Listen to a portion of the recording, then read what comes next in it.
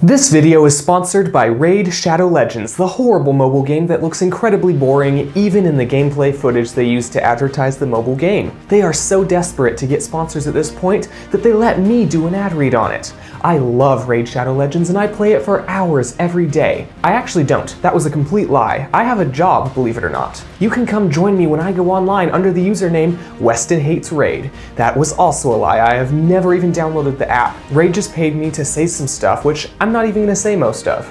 Anyway, Raid Shadow Legends is a game where they use stupid ads showing realistic 3D characters doing and saying things that have absolutely nothing to do with the game. Speaking of saying things, trying to listen to the voice acting in the game is worse than watching a 10 hour video of fingernails on a chalkboard with the song Friday playing on loop in the background. Raid Shadow Legends is a mobile game, so it takes advantage of young and impressionable people, forcing you to make in-app purchases to do things while draining your parents' bank account. My favorite character is Glorkendork, because he looks ridiculously stupid. Configure your players and play the insanely boring game while you basically do nothing except for watch cutscenes and occasionally tap your screen to watch your players do stuff and die.